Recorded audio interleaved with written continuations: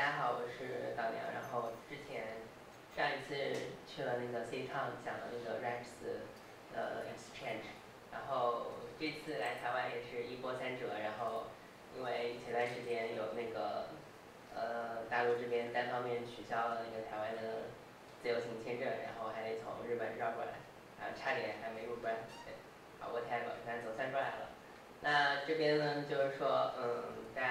在推上有一个段子，然后说的是，呃，有一天我跟我的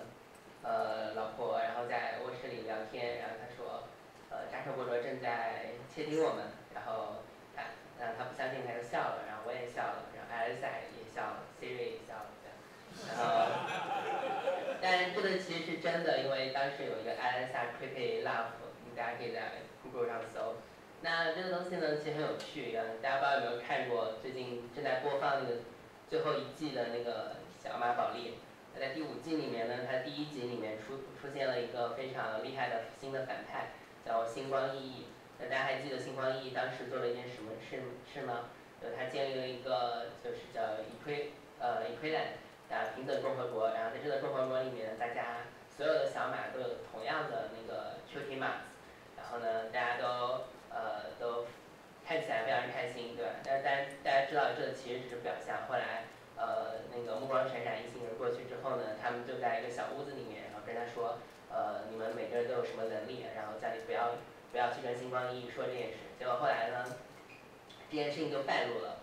对，那这件事情说明了一个什么问题呢？就是在我们没有办法建立一个真正自由民主的社会，在没有 privacy 的情况下，你想象一下，如果你在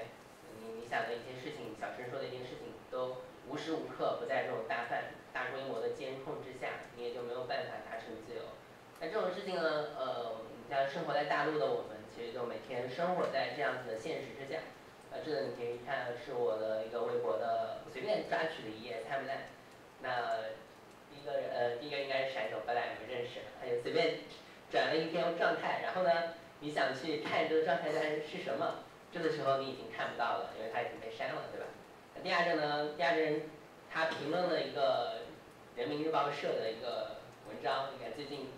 或许跟香港议题有关啊。啊，他评论完呢，他也被删了，对吧？他也没办法找截图，哎，截图呢，他也不知道什么时候被删。呃，因为现在大家知道 AI 算法那么那么那么有趣。那这个呢，是我最近一个朋友，啊，他最近在在在在群里面转了一个呃香港。召开了一个海报，就是说号召大家去天安门集会，去支持政府，去支持香港警察。对，那这这个海报看起来没什么问题，但他转完这个海报之后呢，首先，呃呃，在这个群里面，大家是看不见这个海报的，但是他不知道这件事情，对，他看起来还是正常的，但是呃，所有在外面的人，就像那个沙耶之歌一样，对吧？大家看到的东西不一样。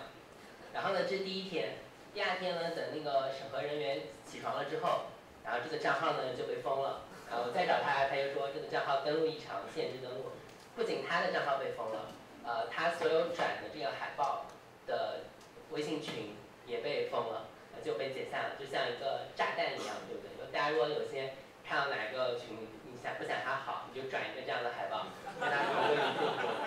啊，所以这些都是现实中我们今天正在发生的事情。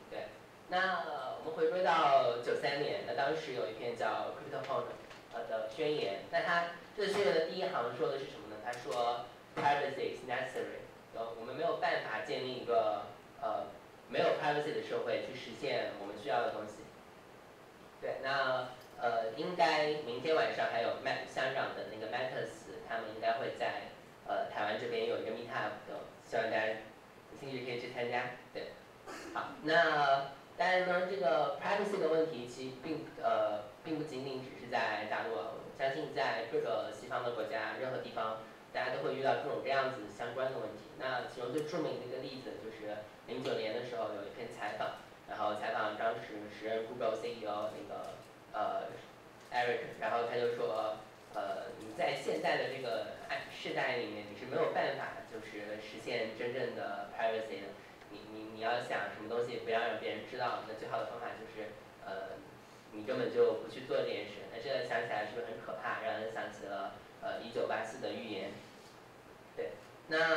呃现实的情况呢，就是说这是我们过去的 Web Two 的 business model。那呃大家看过张练嘛？那炼金术士的基础就是等价交换。那用户呢，我我们要做的事情，就放弃我们的隐私以获取便利。这句话不是我说的，是去年还是前年那个百度的 CEO 李彦宏说的。但是他说完这句话之后，在网上呃就被很多人骂。但其实这句话没问题，本身并没有问题。呃，他最近好像还比较倒霉，在 AI 大会的时候被网友泼泼水。对，我然后那嗯。你要做的事情就是你去你去免费的使用这些互联网的产品嘛，那么他们给你提供了服务，那那相对应的你也要牺牲一些代价，那这些代价是什么呢？其实上就是你的数据和隐私，呃，基本上绝大多数的互联网公司他们的 business model 就是通过这种方式，呃，那在这个过程当中，用户实际上他失去了什么呢？呃，他第一他失去了自由迁徙的权利，那比如说我想。我用了一个 app，那比如说我我用微信嘛，那我我觉得微信设计的很傻逼，它又不能保存我的聊天记录，然后我还发一张图就被封了，对不对？我的 就很奇怪。但是你会发现，你像是有药物成瘾一样，你不得不去依赖这样子的东西，因为你的朋友圈也好，你的关系也好，甚至你的工作都建立在微信的基础之上。之前有一篇那个。呃，《New York Times》的一个记者，他说他想去采访，呃，采访一些那个中国人，他发现他没有微信，他甚至连采访都采访不了。然后呢，他他采访了一个呃，宣称自己呃坚决抵制不使用微信的人，然后在采访了这篇文呃文章写完两个月之后，啊，他发现那个人不得不屈从，也开始使用微信了，对，里面很著名的一个一个稿子。那第二个呢，就是我们丧失了自由选择和阅读的权利，但是这个其实是有争议的。呃，那这个其实，在 Facebook 里面，比如说每年总统大选的时候，呃，这样的情况其实那种可见的同文层之间的差异其实是非常明显，就大家之互相之间都在说自己的事情，但是好像圈层之间就没有这种交流和沟通。那这个现在的算法推荐和这种这样奇奇怪的假新闻就。加剧了这一现象，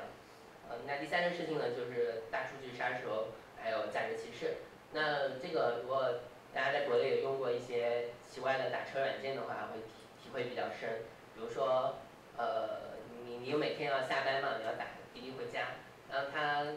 算法就知道你你每天你肯定得打车回家，对吧？那他就做点小手脚，比如说把那个时段的价格帮你抬高高，然后你也没有没有办法呀，因为你也得回家嘛，对吧？这样就莫名其妙的就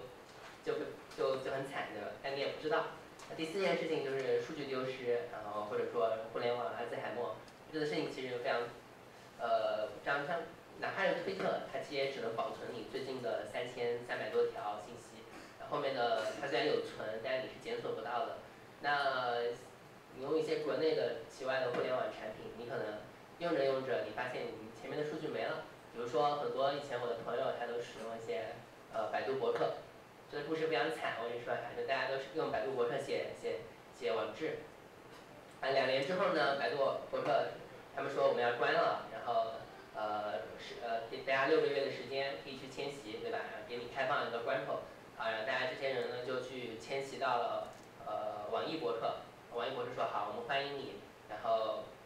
又两年之后，网易博客也关了。然后就大家没有地方迁徙了，对，并且之前的那种互动的圈子也被破坏了，那这个其实就是一个现状。那前段时间还发生过像是百度贴吧，呃，它零零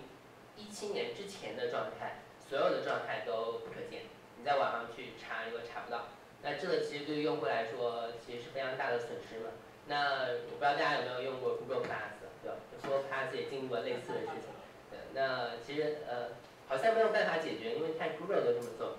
那第五个事情就是数据知情权，就我们不知道我们的数据现在正在被如何使用，被如何泄露，泄露到什么地方去。可能大家莫名其妙的会收到一些呃手机，就我我我现在手机已经不敢用了，因为只要我开了手机，我就就几乎百分之全部都是这种各种各样的骚扰电话。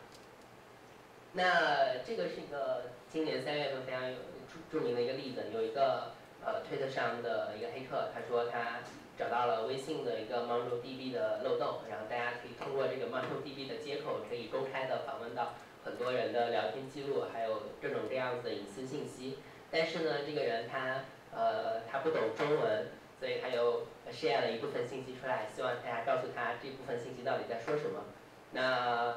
呃这件事情的影响非常恶劣，基本上有相当超过于十亿的微信用户，包括三亿的这样的数据受到了影响。那类似的情况其实呃多年来屡见不鲜。那第一个就是可能大家呃非常著名的剑桥分析，那大约有八千万人次受到了影响，并且直接影响了一六年的美国总统大选。呃，现在还有很多人恨脸书，就是因为这个原因。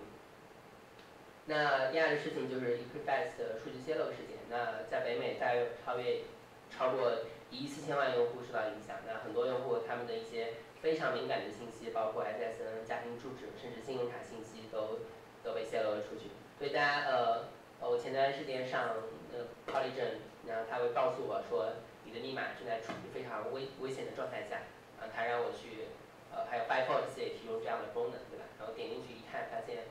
居然是那个 Bitcoin Talk 上我的密码泄露了。对，那第三是就刚说的那个今年的微信数据泄露事件嘛。那其实早在呃一七年的时候，在呃像。这个互联网的发明人 Tim Berners，他几乎每年都会写，呃，在互联网诞生的这一天，他会写一篇文章去，呃，叙述现在的互联网正在受到威胁，然后我们应该用各种各样的办法去，呃，对抗它。但每个人他提供的解决方案可能是不一样的。那这边我们就列举一下大家都在做的事情。那呃，这是 From Flag 的大公司他们在做什么呢？他们结立结成了一个联盟。做了一个叫做 Data Transfer Project 这样的一个项目，呃，那他参与这个项目的有微软，呃，微软、Google、推，呃，推的还有还有谁来着？对，然后他们呢，呃，他们就呃互相之间的数据可以打包成一个叫做 Data Capsule 的一个东西，然后还可以在你觉得你这个用户呃在这家服务用的不爽，我不想用 Apple 的照片了，对吧？我就把数据打包带走，然后迁移到别的地方。呃，那这下面就是在呃在做这件事情的四个合作伙伴，对，那这个就是自顶向上、自顶向下的一些改革的实验。那除了这些之外，其实我们看到的现在目前有四个这方面的尝试，对。那我这边一个一个跟大家说，第一个就是呃像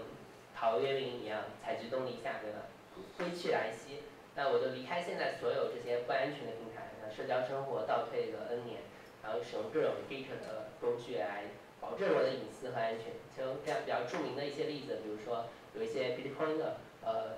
Bitcoin 的 code 核心开发人员，那他呃在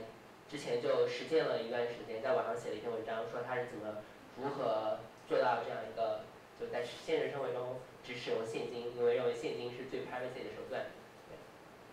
那，但是他遇到的问题的是，第一个是它没有很大的影响力，就没有从来没有一款超过 DAU 超过百万以上的一个产品，并且能保持持续增长，它始终在一个非常小众、极客的圈子里面呃流传。第二个是，呃，政府会想方设法的对你进行污名化，他会认为你暗网实际上就是丝绸之路，实际上就是贩卖枪支大麻，然后呃很多这样的人都被污名化，那污名化之后大家就不跟你玩，对吧？所以。也很痛苦的一个选项。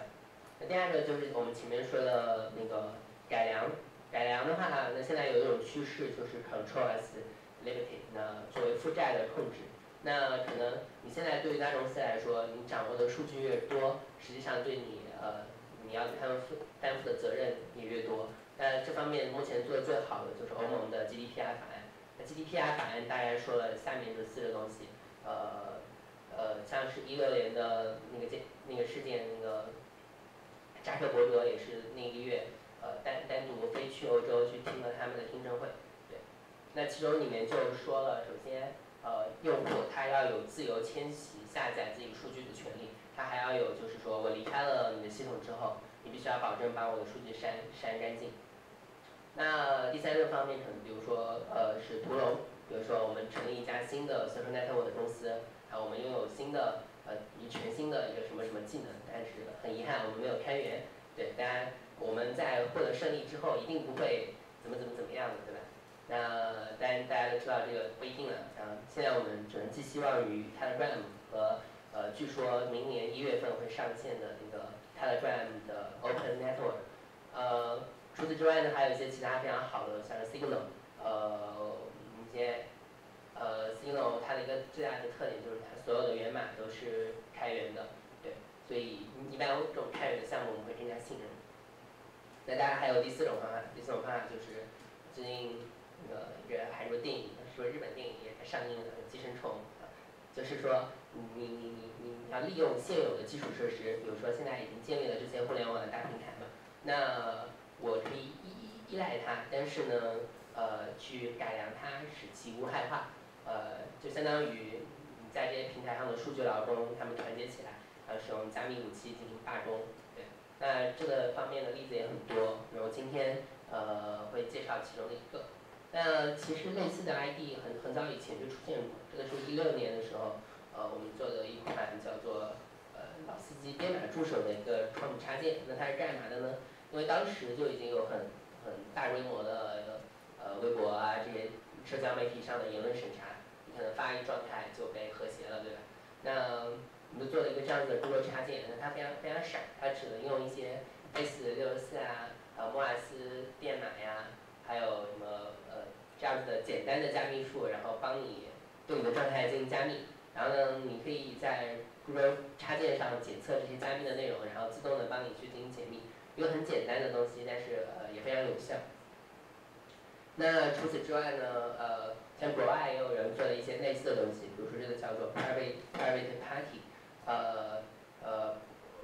宝威 b l a m 也转过这个状态，对。然后呢，它是一个浏览器插件。你装了这个插件之后呢，你就可以呃在各种地方，像 YouTube 的评论，包括 Facebook、脸书的状态，呃，都可以对你的这个状态进行加密。那一个类似的产品是这个 MassBook，他们最前段时间在呃台北这边也做了两场 Meetup。那它也是类似的 ID，不过它用了更加高明的一些加密方法。呃，那除此之外呢，包括在在在中国也有一些类似的东西，比如说在微信里提供这种加密聊天的的产品，但是这个我没有自己体验过，也不知道它好不好。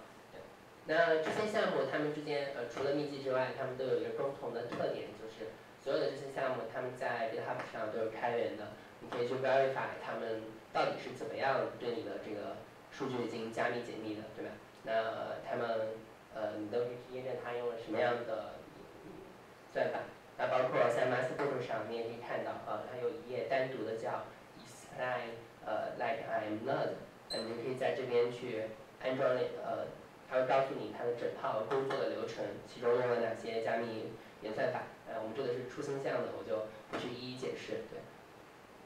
那我们的到此就可以对我们这个呃展开一些畅想，未来的社会，未来的这个数位生活变成什么样呢？那我们认为加密它实际上是数位时代的持枪权，对，那这个是我们用来呃反抗这些互联网公司暴政的一个有力的武器，对，所以呃呃最近在呃那个 TravelCon 就是呃以太坊上的一个开发套件，他们办了一个。呃，Meetup，然后那个 Bitcoin 的创始人就做了一个分享，一个叫做 Web Web3 Business Model 的演讲，还有介绍了你如何在 Web3 时代去构建一个可以呃持续的一个商业模式。那那我们要做的事情，实际上就是在这个基础上，呃，你你要在寄生这些巨头的互联网产品的基础上，然后呢，还要创造一种可持续的发展模式，然后使得最终这些巨头不得不去接受这种事情。然后愿意为你的用户呃买单，并且不会呃过多的去侵犯用户的权益。那这方面的理论的一些研究基础呃有一个非常有趣的一本书叫做《基金市场》，那它最近的那个简体中文版也有在也有发售。然后呃他们上个月应该也是在台北拜过两次 Meetup。那在基金市场里面，它提供了五条呃实例，就他们希望呃借助一些非常激进的一些改良的方案去呃重新定义市场，然后来解决我们社会生活中呃出现的一些问题。那其中有一个就是这个呃 data market，对，那他做了什么事情呢？就是说，他认为互联网公司目前正在免费的从用户这边获取低质量的数据。那我们就，呃，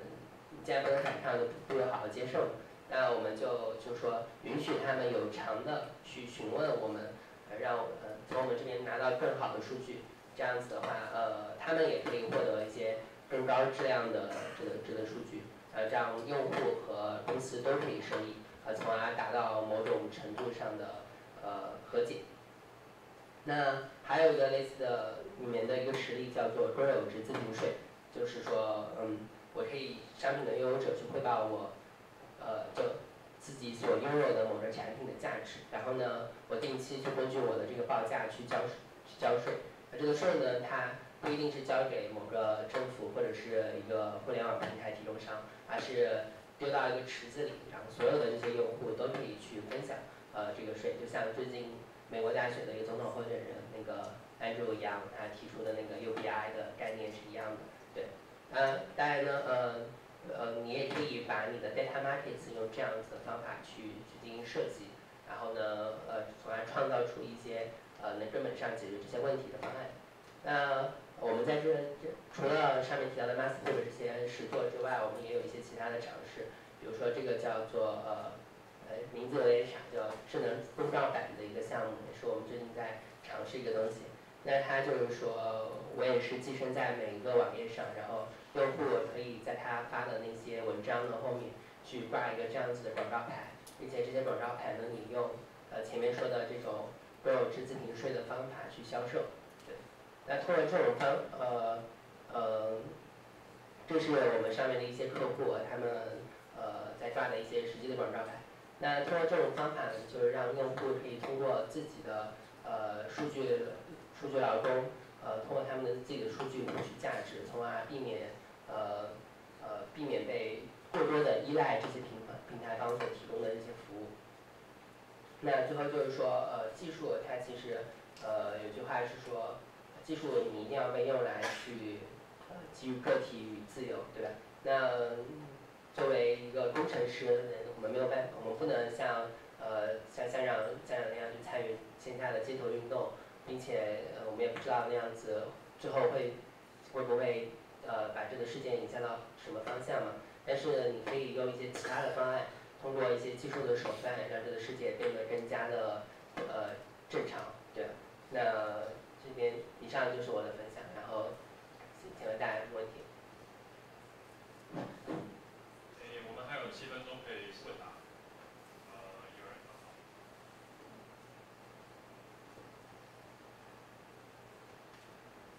我想从 historical aspect 的角度来看，以 Aaron Aaron Aaron Sorkin 来讲，他的牺牲，某种意义上来讲，促进了整个整个那个。论文界那边的 paywall 的一个被撤废，就像是 U U C 大的系统已经开始在反抗这些大的出版商。那在一些其他的领域，像 open source 领域，虽然没有这样的一个敌人存在，也是花了一些时间，然后呢，来让现有的那些得利既得利益的或者是现有的大企业接受了那个接受 open open to 的概念。那请问在隐私领域，知道您在这方面觉得我们会不会有一个 breakthrough，能够让大家开始？身体力行的接受这样新的，您刚才说 data as a data market 的一个的方式，还是我们只能靠慢慢的教育来让大家了解这些事情，然后才能去对抗像 Zuckerberg 这样的一个霸权？嗯，对这个问题也非常的有有价值。那先说艾伦施沃茨事件嘛，那当时艾伦施沃茨自杀之后，就是在有在推特上有很多那些学者，他们就无偿的把自己的 paper。然后发发出来，然后用了一个 slash tag，然后去形成了这样的一个运动。然后包括像是密码学和 open source，其实最近也经也是一个类似的历史。包括我们今天所用的这些，刚才上面说的那些产品里面用到的那些加密技术，其实最初都是在美国军方的严格的军火管控之下。但是很多呃美国的学者和教授，他们冒着自己的学术生涯和呃，生命安全受到威胁的状态下，然后去呃把这些武器相当于是交给了我们，对，所以呃，但我们最近也看到了一些非常在开源领域，就呃，可能大家最近不知道有没有关注到一个新闻，就是有一些那个伊朗的 GitHub 的一些使用者，对吧？他们就被那个 GitHub 给封杀。其实他们也没做什么事情嘛，你从其实他们可能跟我们也没有什么呃没有什么区别啊，但是这样就就当然感觉到这个 open source 是不是也出现了一些问题了？所以现在就有一种呃方法，就你其实也可以把你的那个 open source 的专案去进行加密嘛。那这样就把一个 public 的一个档案变成一个 private 的一个档案，然后呢，你可以在小圈子里面去传播，这样其实也没有人知道你在写。那其实做法是一样的。事事实上，应该已经有人在开发这样的插件了，据我了解。那呃，你如何把这样子的一种就是加密和数据保护的这样一种精神和理念，就推广到更广大的这个民众这边？呃，我认为是说，呃，你一定要有两个条件，就是说。呃，要有创造出一种新的价值，或者是说，你可以把过去的某一些价值进行重新分配。对，你要让大家觉得，就是事实上这些互联网大公司巨头，他们呃侵占了你原本属于你的一些利益。所以你实际上，我觉得作为一个工呃呃工程师的角度，你要做的事情是把这部分的价值提取出来，然后把它 share 给更多的 user，让他们能够从中获利。这样他们自然而然的就会买贵过来，我觉得逻辑应该是这样。呃，好，有其他问题吗？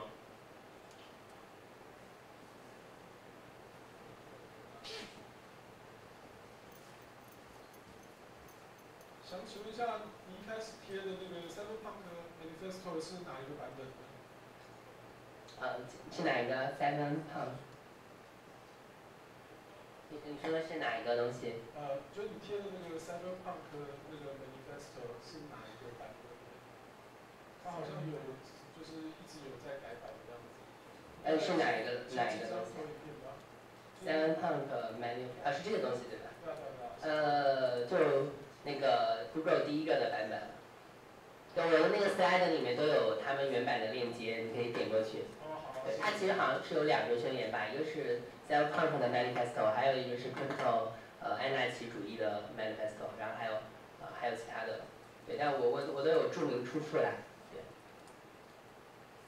其他问题吗？哎，没有，那我刚补充一下刚才第一个问题嘛，就呃，就为什么我们在做完这个加密了之后，我们做的第二个方向就是说，我做广告嘛，因为我们也希望是说让。用户可以通过他们自己的数据，然后发现他们自己的一些利益，这样子的话，是不是更容易让他们接受这种方式？包括你更加容易把这些利益集合起来，然后去进行罢工嘛？这也是一个我们尝试的一个方向。